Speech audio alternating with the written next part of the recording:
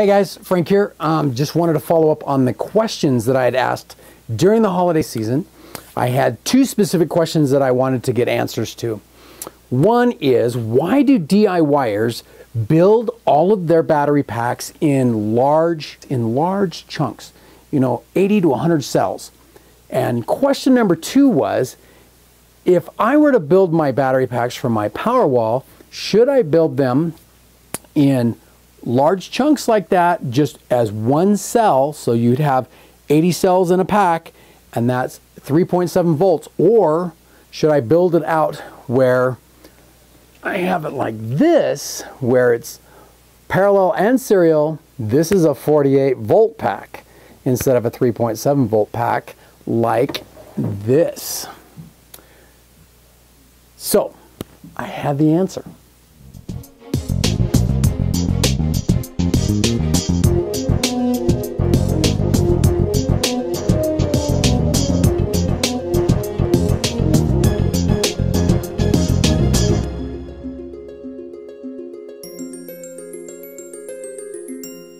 first question is, why do most DIYers build large cell packs like this? This is a 3.7 volt.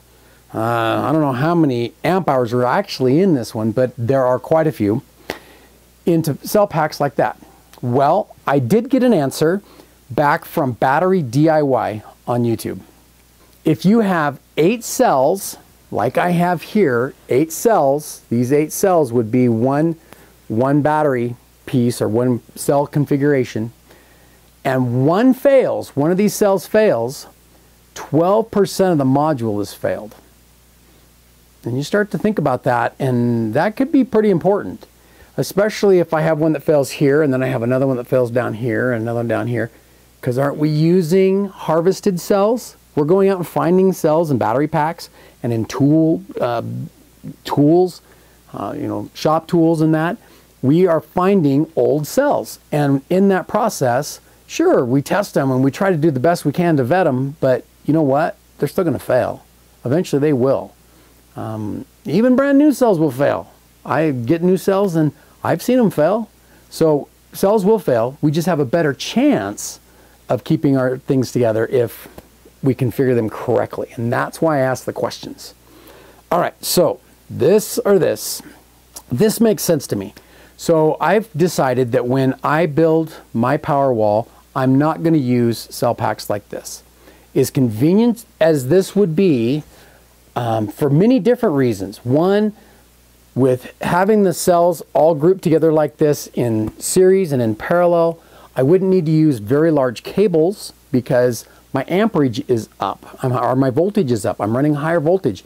And so I can actually use a thinner gauge wire. So that would cost me a little bit, but I'm just talking about having it in a controlled area. So it doesn't make that much of a difference in a controlled environment like that. I still will probably end up having to spend more money on wire and connectors, but the risk of cell failure is just a little bit too high to be playing with. And I think I'd rather spend a little bit more money on wire and and that to make sure that I don't lose all this work, all this work that we're doing. Okay, so based on that, I'm going to go with back to this style of battery pack. Now, I'm not sure what size I'm going to do at this point. I still haven't vetted that out yet. The other portion of this is BMS. And I didn't ask the question, and I'm not going to ask it now, but I do, I'm bouncing around my head, BMS, why should I you know, there's been those who've gone before that say, no, you really don't need it. Um, but I think we've seen with like DIY Powerwall where it's you're better off having some some BMS. And so I'll address that as I get a little bit farther down the road, and I'll talk more about BMS, how to set it up, what it is. Um, but tell, for now, we're just gonna we're, we're focusing on the battery packs and depending on how we build battery packs. Because if I were to do this style would be a one type of BMS and this requires a different type of BMS. Basically, they still manage the batteries, but it's just a little different system. So we'll talk about that later because I do have more questions. I'm not done with my questions there. On to question number two. Question number two was, should I build my batteries as a single volt? This is a 48 volt battery. This is a 3.7 volt battery. This would be my full voltage size. This would be what I was actually shooting for, um, for my Powerwall. But I'm gonna have to do 14 of these instead.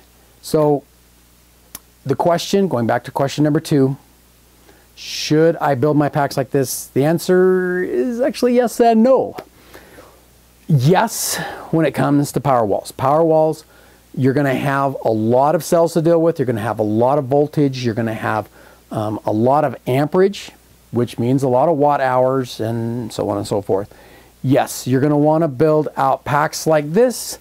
You're going to make them low voltage, but you're going to have a lot of them, and that will give you your volume so that you get your watt hours out of your out of your power wall.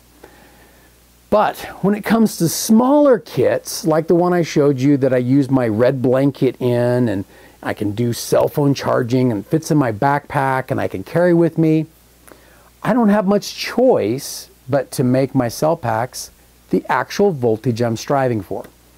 So where do I draw the line? I think what it comes down to is if it comes to a power wall, I'm doing big. I'm doing big bricks of low voltage, 3.7 volt batteries and trying to get my amps up inside these cells.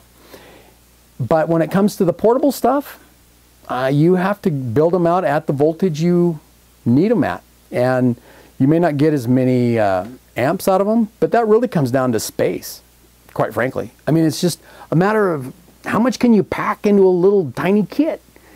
And so based on that, the answer is yes and no question number two. Well, guys, I hope this. I'm hoping that this was helpful to you. I hope that uh, you've been able to get something from this, and it wasn't just a bunch of uh, psychobabble. But uh, it has been helpful for me to really think this through, to make sure I'm doing this correctly, because I really, I don't want to go back, and I want to have a reason for doing each of the things that uh, that I've done or I'm trying to do.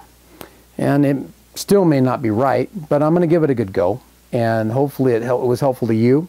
If you do have more questions or comments, please leave them in the comments below and subscribe to the channel. Subscribe to my channel and, and tell your friends about me so that uh, you can help me out. I'm trying to uh, just share what I'm doing. If you guys have an interest, I think uh, I'm hoping that this is helpful to you. So till then, I will catch you around. Thanks for watching. Why do most DIYers build battery packs like this? Or not like this.